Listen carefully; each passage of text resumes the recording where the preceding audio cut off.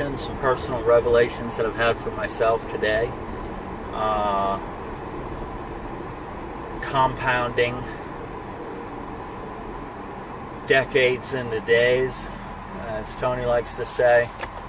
You know, there is no fairy tale. There's no fairy tale ending. There's no wake up one day and and uh, everything's you know the way I dreamed or the way I want it to be or any of those things. It just simply is a reflection of what you've done. So the moral of the story is get off your ass and do work.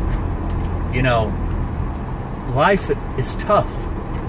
Um, things happen, cars break down, uh, marriages have issues in them, jobs go away or cause conflict in a person's life. But at the end of the day, it begins and ends with you.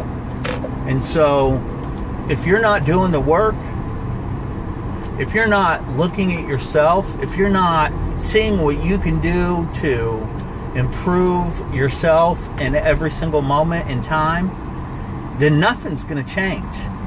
Nothing at all. I don't care how much you wish, how much you beg, how much you pray, how much money you have, how much money you don't have, who you know, who you don't know. At the end of the day, life changes when you change. And so, get out of the fairy tale mindset. Waiting to close your eyes and, and wake up and everything's going to be perfect because there's no such thing. And even if there was such a thing, it would only be as good as your limited mind would allow it to be. So, your very best thinking, your very best dream is nothing in comparison to what this world has for you, what your maker, your creator has for you, what this universe has for you. So, get up, do work, and stop pointing the finger at everyone else and look at yourself and stop saying you're sorry. For God's sake, every time you say, I am, fill in the blank, you are that. And so all you're doing is telling everybody else around you that you, you're sorry because you're not doing work.